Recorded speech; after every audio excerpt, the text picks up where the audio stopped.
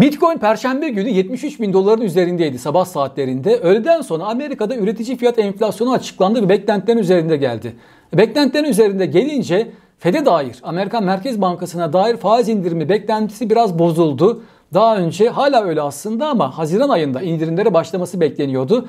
Ama o ihtimal geçen haftanın başında %80'deydi. Şu anda %55'te. Ben bu videoyu çektiğim cumartesi günü. Yani acaba biraz daha gecikecek mi ve daha önce düşünüldüğü gibi 3 değil 2 indirim mi yapacak diye piyasa endişelendi. Bu veriyi de enflasyon beklentilerinin üzerinde gelince ve riskli varlıklarda bir anda düşüşler gördük. Amerikan borsaları ve kripto paralarda. Çünkü riskli varlıklar Fed'in faiz indirimlerinin yolunu gözlüyor. Çünkü Fed Amerikan Merkez Bankası faiz indirimlerine başlayınca bir kere risksiz varlıklar yani Amerikan varlıkları işte Amerikan tahvilleri dolar cinsinden varlıkların cazibesi azalacak ve küresel sermaye yüksek getiri peşinde başka varlıklara bir kısmı küresel sermayenin yönelecek. Ama işte üretici fiyat enflasyonu beklentilerin biraz üzerinde geldi. Bundan sonra da böyle veriler riskli varlıklarda gördüğümü zaman zaman bozabilir ve bu hafta başlamakta olduğumuz hafta Fed'in faiz kararı var. Çarşamba akşamı açıklanacak. O mesela böyle bir etkiye yol açabilir.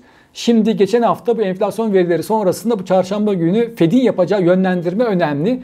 Ne yapacağını biliyoruz. Faizi sabit bırakacak. Orada bir sürpriz olmayacak ama önümüzdeki döneme dair acaba şahin bir yönlendirme yapacak mı? Ve işte faiz indirimlerini acaba çok öteleyecek mi? İşte öyle bir şey yaparsa o yine bu hafta çarşamba günü riskli varlıklar üzerinde ve kripto paralar üzerinde elbette en riskli varlık olarak kabul edilen ağırlık oluşturur. Onu göreceğiz çarşamba günü ama düşse bile işte çok da fazla düşmüyor. Çünkü önümüzdeki döneme dair çok güçlü iki beklenti var.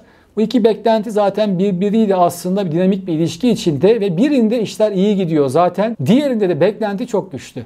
İyi giden taraf ETF'ler, endeks fonları çok ciddi bir para girişi var. Geçen hafta yine 2,5 milyar dolar civarında nette para girişi oldu. Burada görüyorsunuz azalır mı acaba para çıkışı başlar mı diye endişe ediliyor. Ama para çıkışı falan olmuyor. Tam tersine geçtiğimiz hafta bir gün tek bir gün 1 milyar doların üzerinde para girişi olduğunu gördük. Şimdi bu giren para bunlar biliyorsunuz 11 Ocak'ta onaylanan Bitcoin'in spot fiyatına dayalı endeks fonları Amerika'da ilk kez Amerika'da endeks fonları devreye girdi. E bunlara şimdi kurumsal yatırımcılar da para sokuyor ve onlar da Bitcoin alınıyor. Ve Bitcoin alınması demek Bitcoin talebi demek. Ne kadar Bitcoin alınıyor? Şu anda Şubat sonu itibariyle ortalamada 2800 adet bu ETF'lere giren parayla alınan Bitcoin adedi ama Bitcoin madencilerinin ürettiği günlük Bitcoin adedi şu anda 900. Yani ETF'lerden 2800 adet ortalama talep var ki geçen hafta daha da artmış olabilir. Ama madencilerden sadece 900 geliyor. Üzerini elinde Bitcoin bulunduranlar karşılıyor. Yani arz ve talebin dengelenmesi için. Ve yarılanma sonrasında madencilerin ürettiği Bitcoin sayısı yarıya inecek. Şu anda 900 dedik ve bu yarılanma Nisan'ın sonunda gerçekleşecek. Yarılanma sonrasında veya Mayıs'ın başında yarılanma sonrasında 450'ye inecek. Yani bir kere Bitcoin üretiminde ciddi bir düşüş göreceğiz.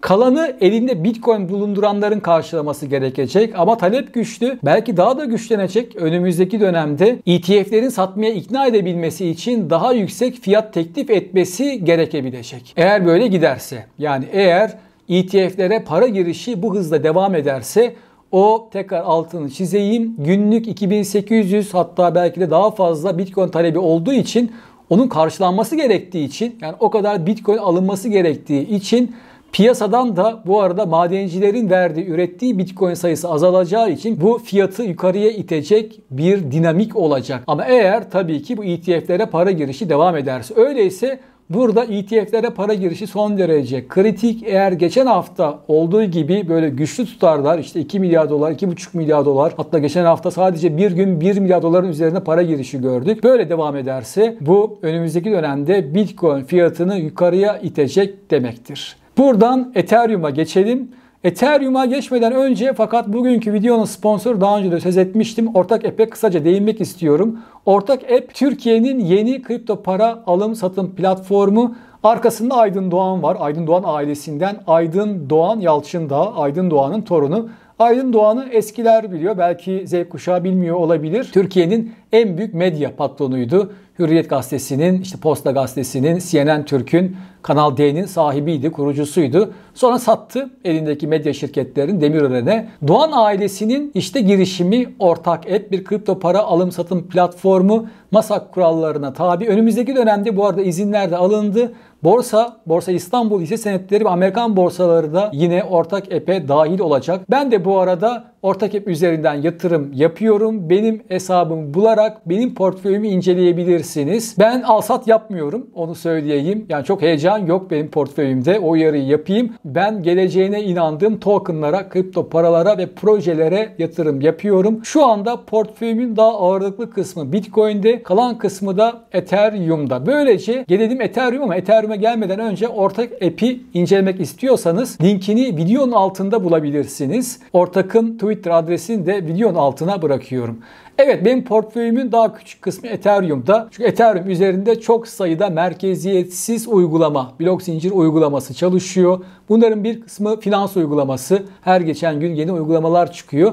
Onlar için bir tane ağ lazım. Bir blok zincir ağı lazım. Ve o blok zincir ağı işte Ethereum rakip ağlarda var. Solana gibi. Ve ama Ethereum daha eski, daha fazla geliştiricisi var. Ve bu arada Ethereum blok zincirinin token'ı Ethereum'un toplam piyasa kapitalizasyonu da işte rakiplerden çok daha fazla. Ethereum'un bir dezavantajı vardı Solana'ya karşı özellikle. Biraz ağırdı. Ve bu arada işlem ücretleri de biraz yüksekti. Solana rakibi daha hızlı olma iddiasında. Ama hızı yakalayabilmek için de zaman zaman sorun yaşamayı göze alıyor. Solana'nın da öyle bir problemi var. Ama Ethereum Şimdi geçtiğimiz hafta bir güncelleme yaşadı. Denkan güncellemesi. Bu güncelleme sonrasında Ethereum blok zincirinde işlem ücretlerinin düşmesi ve genel olarak blok zincirinde daha ölçeklenir bir hale gelmesi bekleniyor.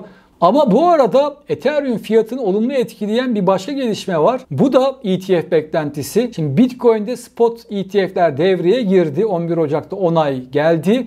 Ve Bitcoin ETF'leri devreye girince bundan cesaret alan yatırım şirketleri ki yine aralarında BlackRock da var. Ethereum'un spot fiyatına dayalı ETF endeks fonu çıkarmak için yine başvuru yaptılar. Yine aynı yere yani Amerika'nın Finansal Düzenleme Otoritesi'ne SEC'ye.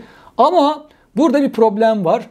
Daha önce Bitcoin başvurularının yani Bitcoin'in spot fiyatına dayalı başvuruların onaylanacağına dair beklenti onaylanma öncesinde çok güçlüydü.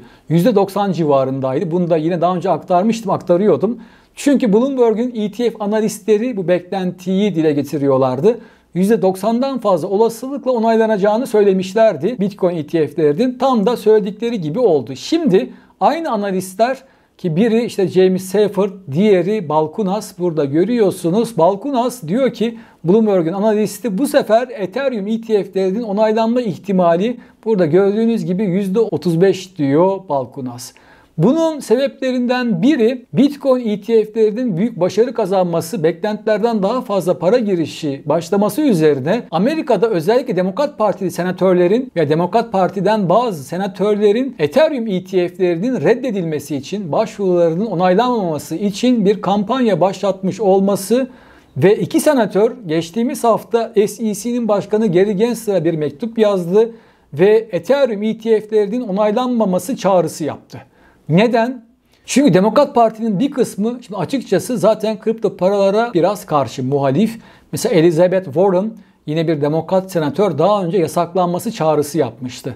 Ve Demokrat Parti Amerika'nın büyük bankalarına biraz daha yakın. Ve şimdi bankaların açıkçası bu korkulu rüyası, bu ETF'ler ve kripto paralar ve blok zincir ağları merkeziyetsiz finans dedik. Yani Ethereum ağı üzerinde çalışan bu merkeziyetsiz finans uygulamaları Sonuç olarak bunu kullandığınızda, bu uygulamaları kullandığınızda bankaya ihtiyacınız kalmıyor. Yani bankaların bu işlerini azaltacak bir gelişme. Kripto paralar büyüdükçe blok zincir ağları, kripto paralar değil, blok zincir ağları üzerinde çalışan bu uygulamalar büyüdükçe bankaların işlem hacimleri açıkçası azalacak. Bu da karlarını olumsuz etkileyecek. Bu yüzden önlerine geçmek istiyorlar. Nitekim daha önce JP Morgan'ın Amerika'nın en büyük bankası CEO'su Jamie Dimon kongrede yine bu Elizabeth Warren'la konuşurken daha doğrusu onun sorularını yanıtlarken yasaklanmaları gerektiğini söylemişti. Kripto paralara yasak çağrısı yapmıştı Jamie Dimon o oturumda. Yani Amerika'da büyük bankalara kalsa en azından bir kısmına kalsa hepsine değil bir kısmına kalsa belli ki bir kaşık suda boğacaklar kripto paraları ve blok zincir ağlarını ve işte herhalde ondan dolayı diye düşünüyorum Demokrat Partili bu senatörler Senatör Jack Reed ve Senatör LaFonza işte gergen sıra bir mektup yazarak onaylanmaması çağrısı yaptı. Büyük olasılıkla Ethereum ETF'leri onaylanmayacak. Bu önümüzdeki dönemde Ethereum fiyatını biraz olumsuz etkileyecek bir gelişme. Nitekim geçtiğimiz haftanın tamamına baktığımızda Ethereum Bitcoin'in epey gerisinde kaldı. Sebebi işte bu. Geçen 7 günde son bir haftada Ethereum'da %5.70 civarında kayıp var. Ben bu videoyu çektiğim dakikalarda. Ama Bitcoin yatay %0.14'lük sadece şu an itibariyle kayıp olduğunu görüyorum. Ethereum'da bu ETF meselesi fiyatı biraz daha önümüzdeki haftalarda baskılamaya devam edebilir. Ne zaman peki?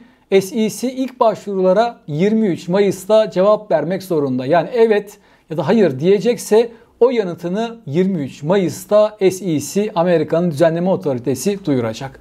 Hepinize iyi kazançlı bir hafta diliyorum. Önümüzdeki cumartesi tekrar görüşmek üzere. Hafta içinde de bu arada biliyorsunuz her akşam 20.30'da bu kanalda son 24 saati Türkiye ve dünya piyasalarında anlatıyorum, yorumluyorum. Abone değilseniz abone olmayı ihmal etmeyin.